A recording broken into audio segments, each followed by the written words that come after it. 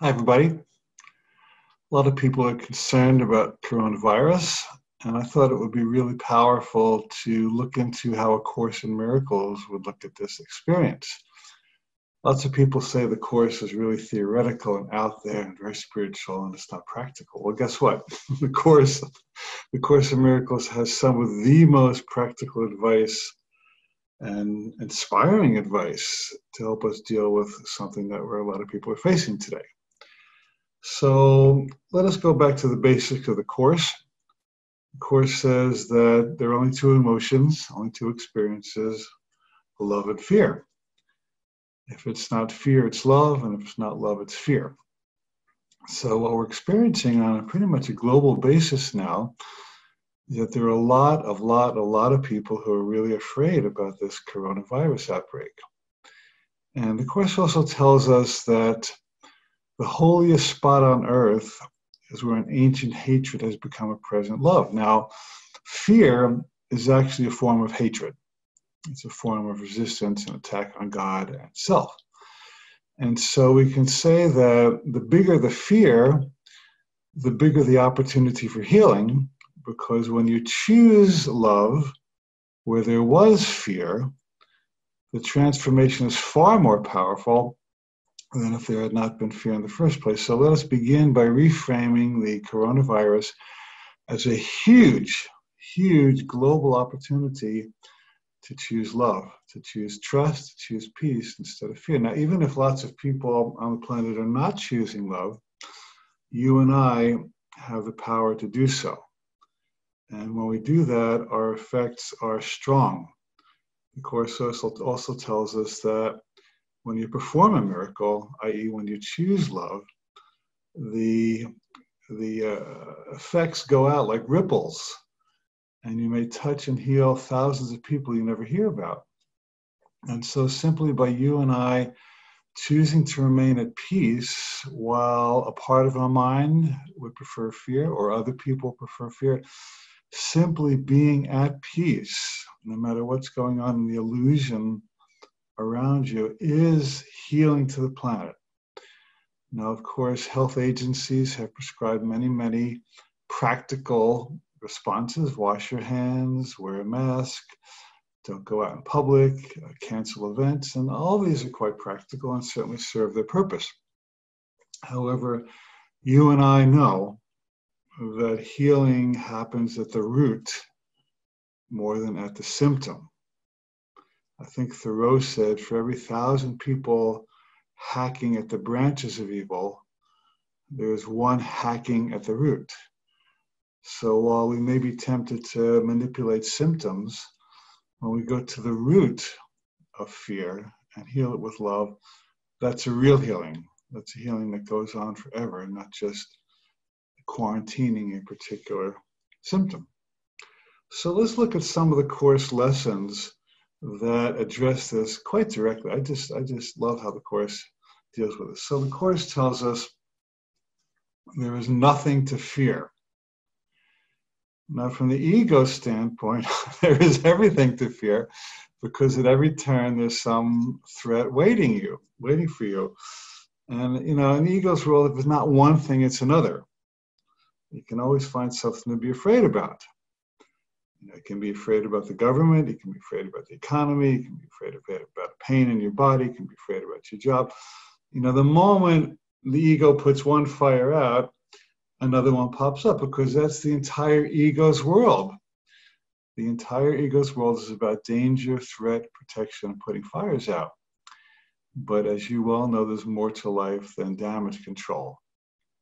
And so we have to recognize that the form that shows up that seems to require fear is just spinning around. There's there's no end to the forms that that seem to require fear. It's just the fear du jour. It's just the drama du jour, just the situation du jour. So we want to recognize first of all that the coronavirus, there's nothing unique about it. It's just another way that the ego is going booga booga. You should be afraid about this. And A Course in Miracles tells us in uh, page one that there's no order of difficulty in miracles. And the reason for that is that there's no order of reality among illusions. Let me say that again. There's no order of difficulty in miracles because there's no order of reality among illusions. So whether it's a big scary illusion like coronavirus, or you have a cut on your hand, or your your husband didn't pay attention to you today, or your kid is acting out, or you didn't get your full paycheck, those are all they all seem to be various degrees or hierarchies of things to be afraid about, but the Course says they're all part of the dream.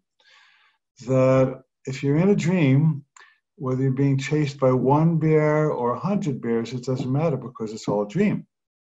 So we want to not give the coronavirus any more attention than we would anything that would seem to cause fear. And the only answer to fear is faith. There's a wonderful old poem. I love it. Goes, Fear knocked at the door, faith answered, and no one was there. So, what you can do is quit focusing on the scary thing.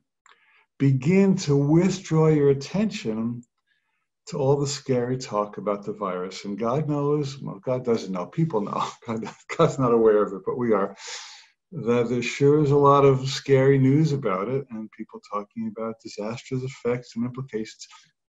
And if you sit there and watch your TV or scan your web browser or engage in gossip or talk about it, you're not you're not helping unless you're talking about it in a way that reframes it as an opportunity for healing. So you don't have to watch every newscast. You don't have to discuss every aspect of it. The more attention you give fear, the more power that fear has over you. And one of my favorite Star Trek television episodes was about a time when uh, some malevolent force invaded the Starship Enterprise. And it was taking people over, and they were going crazy and hurting each other and fighting, and there was there was mass chaos and pandemonium on the Enterprise. Now, if that sounds familiar in terms of what's happening at your local Walmart, you may want to pay attention to this, this Star Trek episode. Well, what they discovered was that this, this dark force was actually feeding on fear. And the more the crew got afraid, the, the bigger the, this dark force got, the fatter it got, and and the, the more the, the more the dark force became powerful, the more people act on it. So there's a vicious cycle of fear acting on fear, fear acting on fear. So it's growing, growing, growing. Well, finally, the uh, supervisors of the enterprise realized that if they could just get people to quit being afraid, then that would be the end of this problem. So they administered a relaxation serum. So I'm not suggesting to take drugs, but I think it's a metaphor that when they when the crew got relaxed and quit being afraid, this dark entity had nothing to feed on and it starved it. They starved it, and so the entity had to depart, and the enterprise was returned to sanity. So, if there's a physical virus, that's one thing. Okay, we'll say that could be a problem. However, the fear factor is a far bigger problem. A number of people have gotten coronavirus, but a lot, lot, lot, lot, lot, lot more are contributing fear to the to the situation. And we know that whenever you act on fear, nothing really good happens. That you always have to come back and choose once again and choose love where at some point you chose fear. So we come back to the same lesson that it's uh, uh, quit contributing fear to it. Now I realize that a lot of you as course students, perhaps as spiritual students, may feel uh, pretty relaxed about it or have found your center of faith even amidst the insanity. But you can be a light to other people. And if you simply choose not to agree with them and support them to relax and have faith and trust, then you're going to be helpful. Let's see what else the Course says about it. Oops. So the Course also says in lesson 240 that fear is not justified in any form.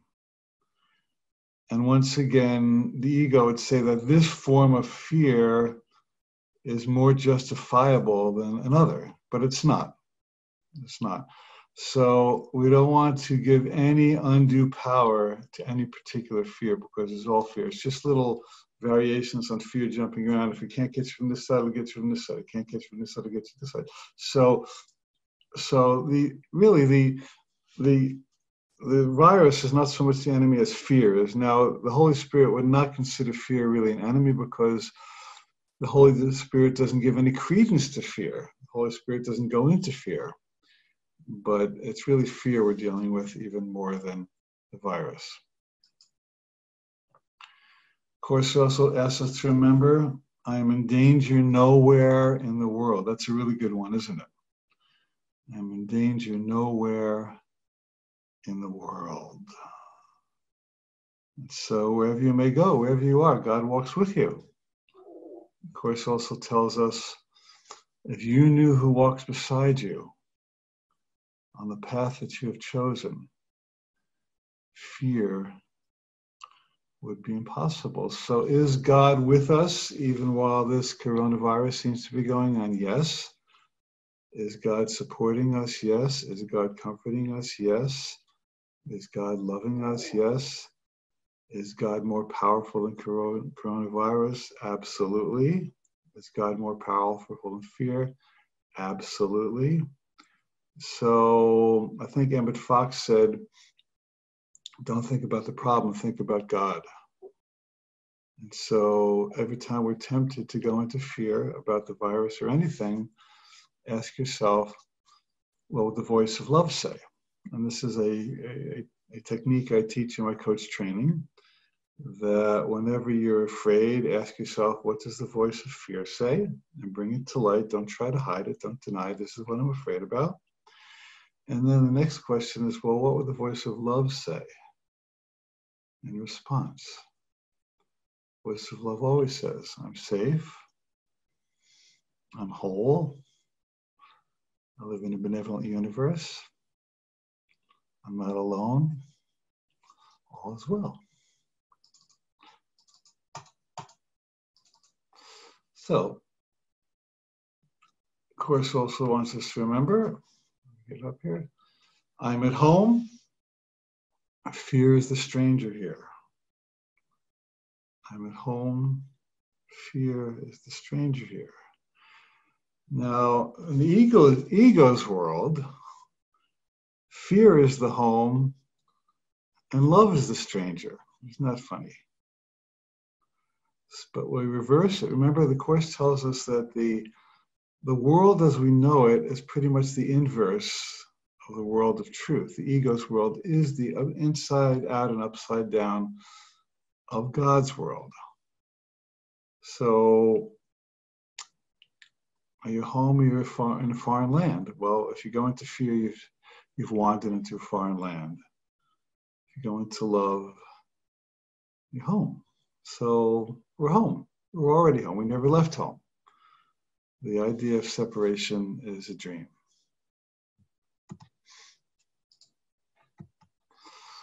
And let's look at one more lesson. I'm under no laws but God's. This is one of my favorite lessons, 76. I keep coming back to this. I love this, this lesson. And what this lesson says is that in the world we've made up all kinds of laws that have nothing to do with God's laws. And it tells us flat out, he says, you, you've made up laws of nutrition, you've made up laws of economics, you've made up laws of social reciprocity, you, you made all kinds of laws that really have nothing to do with God's laws. And so I often think of this as a difference between rules and laws. People make rules, but God makes laws. And rules can be broken. In fact, they often are. We make rules that you're only supposed to drive a certain speed limit, and yet hardly anybody drives those limits because they drive 5, 10, or 20 miles over the limit. So it can't be a law. If you can break it, it's not a law. But they're human rules. But on the other hand, God made all kinds of wonderful laws that cannot be broken. And the law is that you are a child of God, you're created in image and likeness of God. You are whole. You cannot be sick in spirit. You cannot die in spirit. That who we truly are are immortal, eternal, deathless spirits, no matter what the body goes through, no matter what happens on the planet. Ultimately, as the proverb goes, when the chess game is over, the king and the pawn go back in the same box. In other words, we all return to spirit. And even before we return to spirit, by leaving the physical, we're already established in spirit. So who we are is divine. And no coronavirus can touch a divine being. Impossible, impossible, impossible. Disease functions at one frequency, and well being functions at another frequency, and the twain shall never meet. And this is why, if you're looking for any kind of physical healing, the answer really is to begin to raise your frequency so you're dwelling in a state of consciousness that is not a match to disease. Disease functions at a very dense, gross, heavy wavelength, and healing functions at an entirely different wavelength. So,